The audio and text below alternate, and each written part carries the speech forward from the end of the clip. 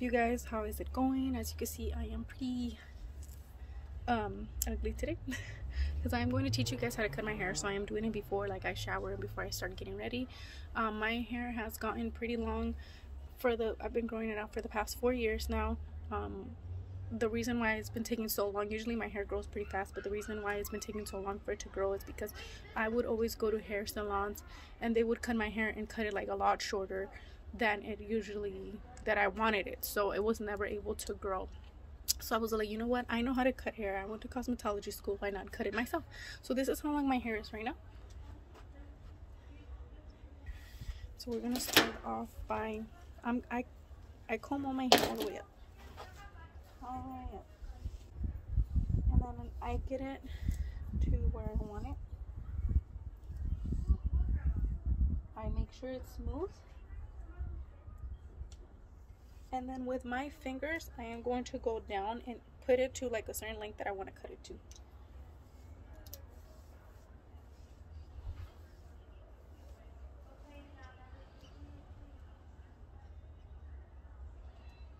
So once I am all the way down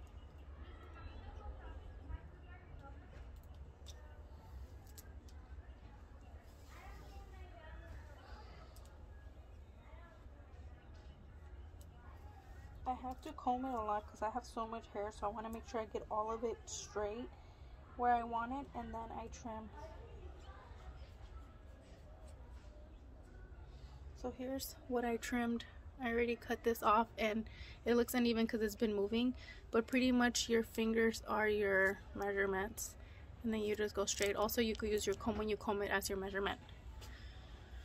Okay so once I do that I decide that's just the very tip that I cut from the bottom that has been dead. And then that's when I part it out.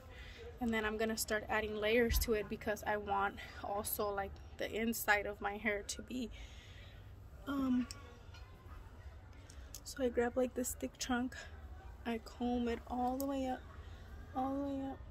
And then like I said I'm using my fingers as measurements. So I'm going up up up up and then I go down like this and I just kind of see like okay I want to cut a little bit.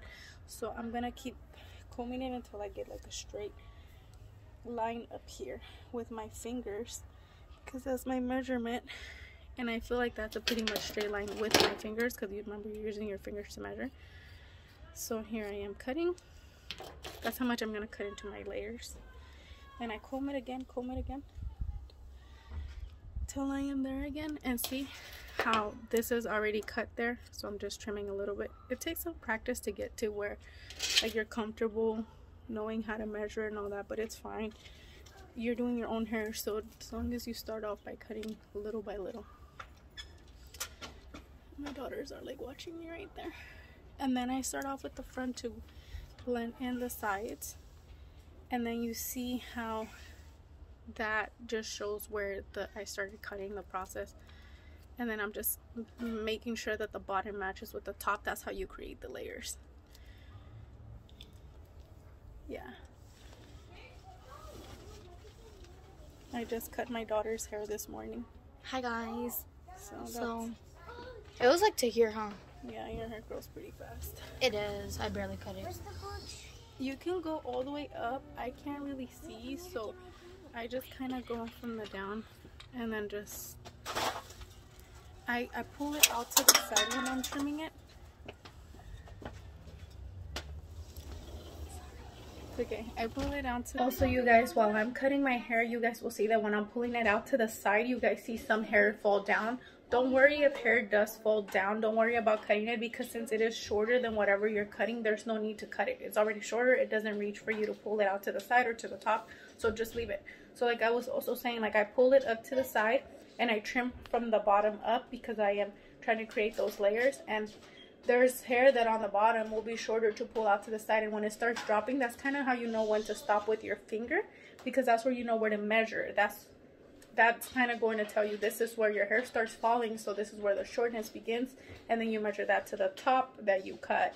Um, also if you pull out to the top and try to um, cut it even that's going to create longer layers um, if you want shorter layers, then you could do it to the side. If you want to pull it to the top and measure the bottom to the top and cut it from there, then it's just going to create longer layers.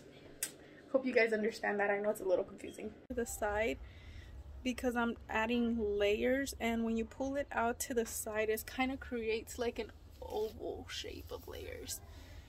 And then like I said I'm just as you can see the top this part is shorter than this part.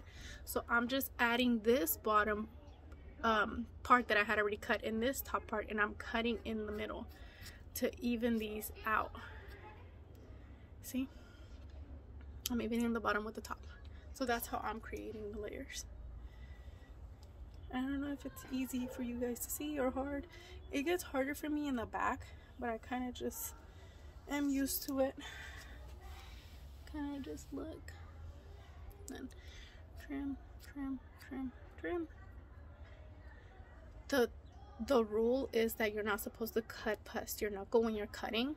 Because I had had many accidents when I was in school where I would cut my fingers. And when you get finger cuts those hurt so bad. It could be the smallest cut. You know like a paper cut hurts but these are like these like 10 times worse so then again I have to measure that because it's so thick my hair just kind of like falls. And I have to put that down. I have to cut cut cut.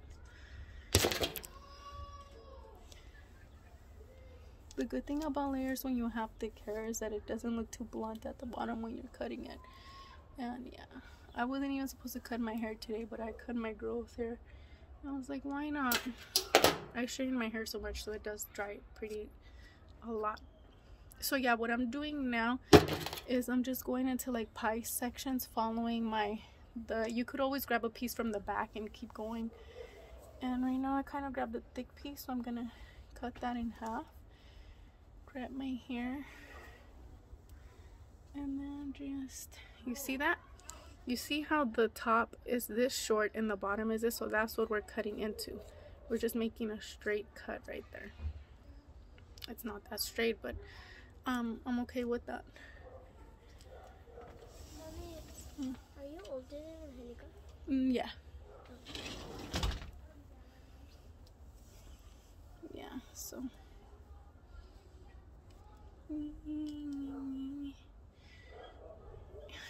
Front's funny, huh? Okay, so. I am trying, I'm trying to, get this side is harder because it's not, since I'm right-handed, it's just harder. That's how much we're cutting. We're just evening that out. It looks hecka off, you guys, but it's just the way I'm holding my hair since it moves.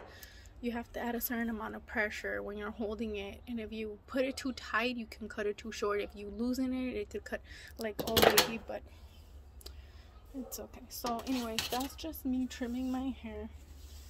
Um I like I said I like the length. I don't know how straight it looks when I'm done but here's you guys can see that's how much I cut. And not too shabby right? Still long just getting it trimmed and it looks a lot more healthier. So hope you guys enjoyed and you use these techniques